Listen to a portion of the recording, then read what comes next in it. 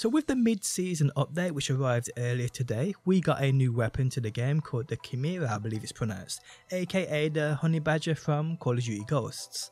Well guys, the requirements to unlock this is by either getting 2 operator kills within the multiplayer side of the full base game which you'd have to pay for, or by going into DMZ and locating Building 21. But Building 21 as far as I am aware is not in the update yet. So if you do not have the full game, if you have not paid for the full game of Call of Duty Modern Warfare 2 and you're only playing Warzone and DMZ, the free section of Modern Warfare 2, you actually can't get this weapon yet.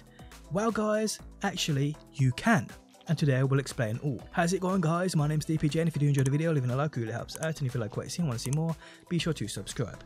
Okay, so this is how it's done. And I tried and tested this out myself with my pal and it worked. Okay, so I have the full version of the game and I unlock this weapon by getting 2 operator kills with assault rifles in shipment 24-7. So simply go into shipment 24-7, get 2 kills with an assault rifle, back out, rinse and repeat 15 times, you unlock this weapon. Then guys what you want to do is go into DMZ with your friend who doesn't have the base game of Modern Warfare, is only playing the free game modes, i.e. Warzone and DMZ. You as the player who's unlocked this weapon Create a class, making sure this is the weapon. Then guys, once you load into DMZ, simply drop the weapon for your friend. He picks the weapon up, you exfil, and guess what guys? He unlocks the weapon and it is as simple as that. You can use this weapon now in DMZ, you can use it in Warzone. It's completely up to them.